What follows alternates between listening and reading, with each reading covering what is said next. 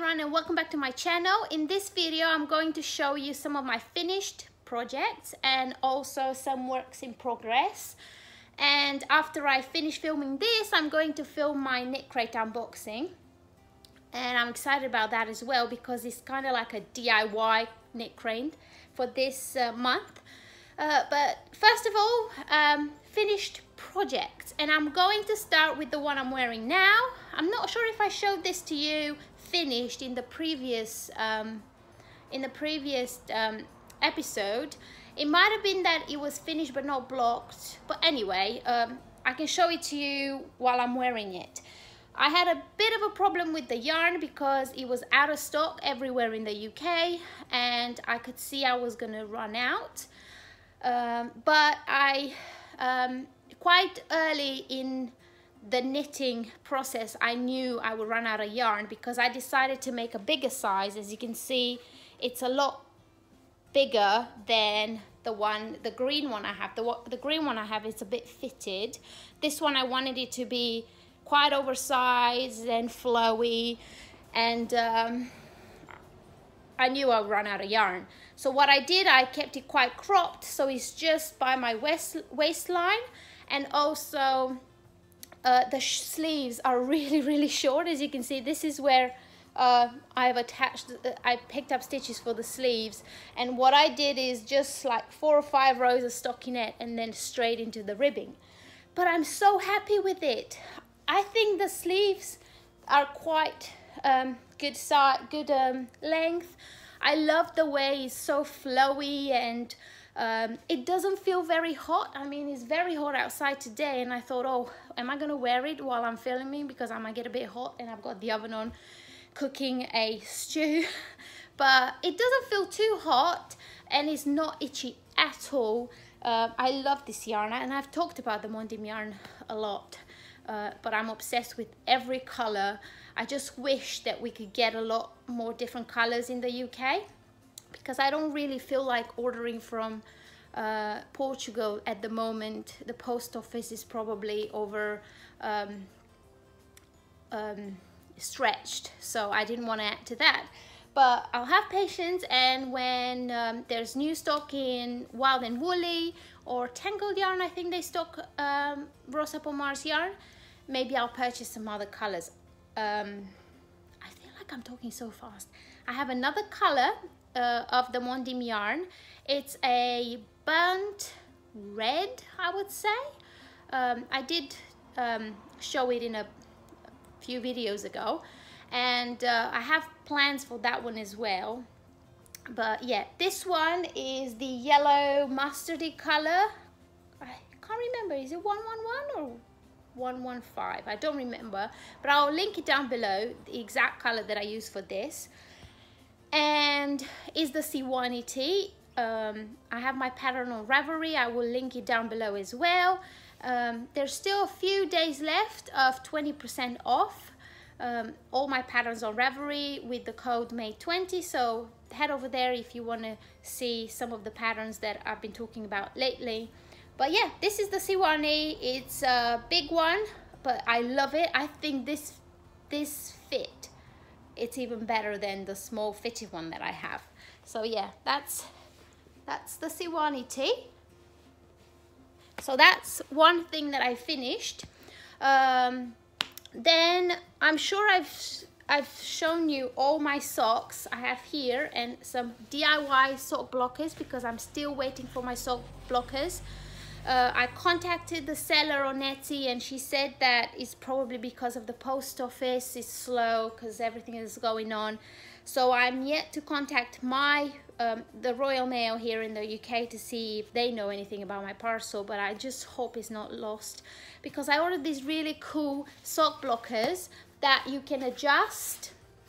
So they're kind of like a puzzle, two pieces in a puzzle, and then according to the size you want to knit you just uh, expand them or make them smaller. But for then uh, until then I just got some um, like a cardboard. I cut it and I put my socks to block on them. They're not the best but that's all I can do.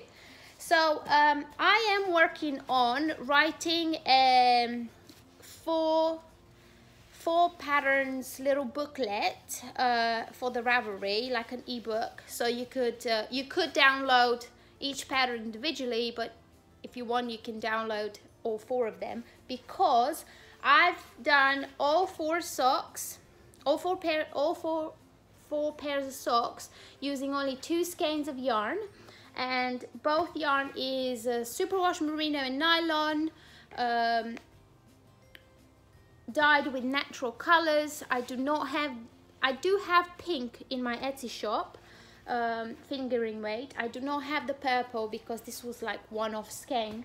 But any sock um, yarn 200 grams uh, for a size maybe between three and six or seven it would give you four pairs of socks. Two normal size and two shorties. Um, so the first one is the Siwani socks and the reason why they're called Siwani is because it's got the same motif going um, up down the cuff and down the um, down the foot. It has stockinette sole so it doesn't get uncomfortable while you walk. And this one has a heel flap um, heel. Then, so that's one pair. Then I have the Isle ones and the, I told you my sock blockers are not that good. Kind of pulls on the Isle here. Uh, here's the Fair Isle, which is just uh, cuff down with ribbing, Isle, German short rows heel, and then the textured sole to fit better and obviously um, rounded toe with Kitchener stitch. So this is the second pair from the same yarn.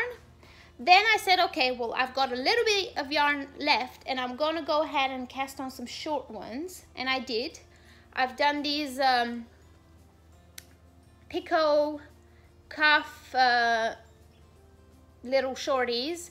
And these ones, uh, so you start, I talked about these in my previous episode. You do a Picot cuff and then here we've got a slip stitch uh, to keep it like more secure. And then German heel, again with the texture sole and the round toe and I decided to do the heel and the toe in two different colors.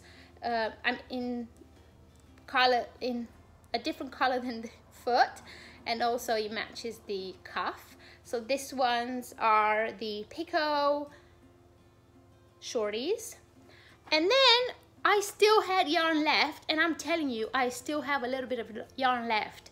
But um, then I decided to do these shorties, which are even like shorter than the Picot Edge ones. And these ones are stripes. Um, it's got like a rolled stockinette uh, cuff with a little bit of texture.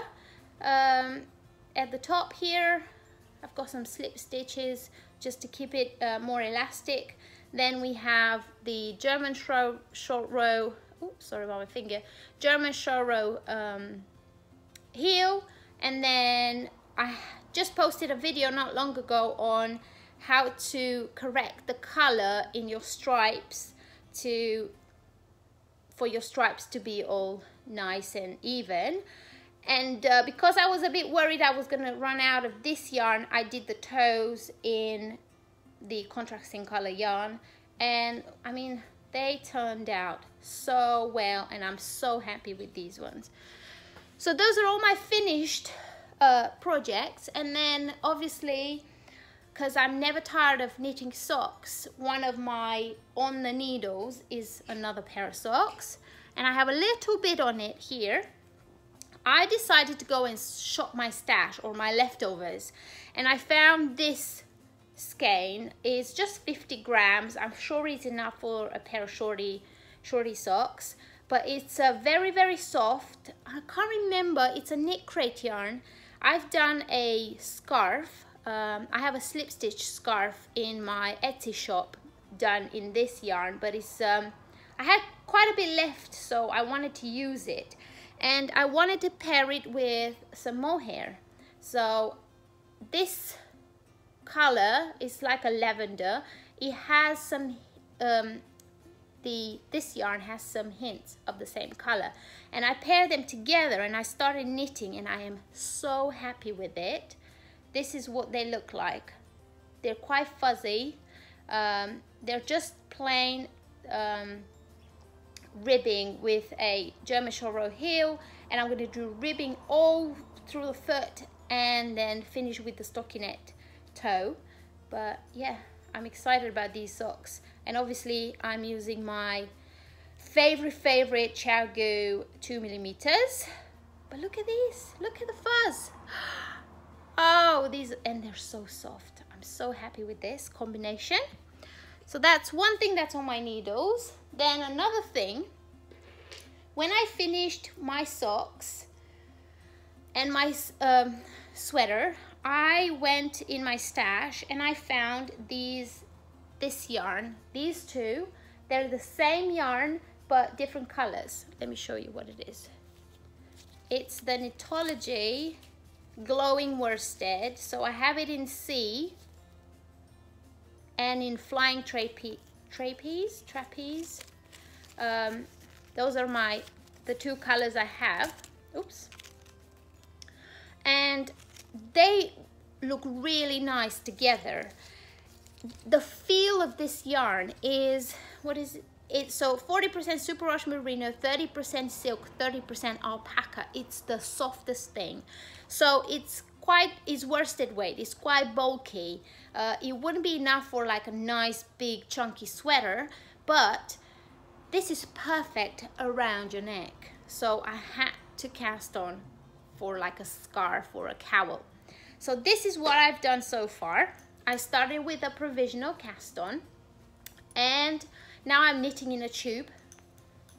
I've got a, like a tube this big now and I have this um, kind of like ripple um, stitch. It's uh, it's Fair Isle so I just figure that I'm gonna make it big enough to wrap it around twice. So this will be this is what it will look like. And you can put it over your nose like that. But it's so soft. And I'm sure it's gonna be very very warm because it's first of all it's worsted weight then is um, then is doubled because it's Fair Isle and then it's double again because it's a tube. So um, I have four so two skeins of this one two skeins of this one and I'm working my way through. I've got this much left until I reach half size and then uh, I kind of know the size of my um, of my cowl. But yeah um, I will be writing a pattern for that as well and I checked on the KnitCrate website and they still have um, the the glowing worsted yarn in this color or this color? I can't remember. They only have one color so um, I will write to them to see if they're gonna bring more colors. But they always bring nice yarn anyway so um, yeah this is worsted weight. So if you want if you have in your stash a different worsted weight two colors that work together nice um, yeah that would be a nice project for winter. Ooh, my legs hurt. All right. And then move on to my all-time favorite project that I've done this uh, this month is a cardigan. And you would have seen pictures if you follow me on Instagram I already posted a bit of it. I'm using a very rustic cool yarn for this is um, Erika Knight Wool Local. So it's um, it's undyed yarn.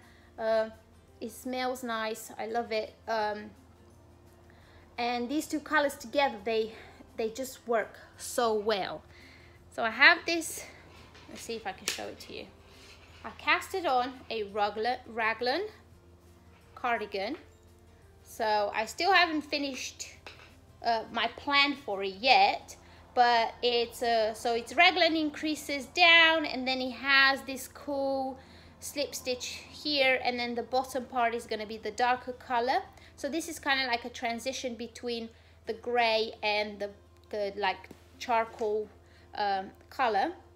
I'm not sure on the length yet. I kind of want it a bit longer not cropped just a bit longer because this is more like a winter uh, autumn. It's um it's not itchy it's a really nice yarn but I would put it on top of a long sleeve I think. I wouldn't wear it on bare skin because um, I wouldn't want to wash it that much. It's not super wash uh, so I wouldn't want it to be damaged um, that's what I do with most of my knits. I wear a vest or like a t-shirt underneath so it doesn't get dirty as much and sweaty so I don't have to wash them as often. Um, so yeah at the moment I'm here so I'm still knitting down um, the body and then I'm gonna pick up stitches for the sleeves and then I'm gonna pick up stitches for the button band even though I'm not um, I haven't decided yet if I'm gonna put buttons or if I'm gonna have it open. Um, I I don't know yet but um, yeah keep an eye on my Instagram to see how I'm gonna get on with it. But yeah that is my cardigan. And so far I've used almost one skein. So this is what I've got left uh, from one skein of the the gray color. And um, this is what I've got left of the charcoal color I ordered three skeins two gray and one charcoal and um, I'm pretty sure it will be enough because this part I haven't finished charcoal, the, the um, grey, I still have loads of grey left. And then this is what I've done with the charcoal and I still have loads left. So yeah, those are what I've got on my needles now and I will film another video with the books that I have because um, I've ordered quite a few books that are really really good and I wanted to share with you. And um, the reason why I want to do that is because I I search for books. And on Amazon or any other place where you buy books you don't see much of the book and you don't know exactly what you're getting. So I'm not disappointed in the books I bought but um, I wish I knew more about them before I invested in them so I want to make a video about that and show you all the books I have and maybe uh, have a list of the books that I wish I had and don't have yet, but I'm, I'm working on it. Uh, so yeah, that's the plan. Now I'm gonna wrap it up and film the KnitCrate video. But yeah, I hope you liked it. Uh, please give this video a thumbs up and subscribe to my channel. Please um, click that bell so you get notifications when I upload a new video. Check uh, my Instagram and my Ravelry page for everything news this is that that's pretty much on instagram is where i put most of my stuff that i'm working on um and yeah stay safe and we'll see you soon bye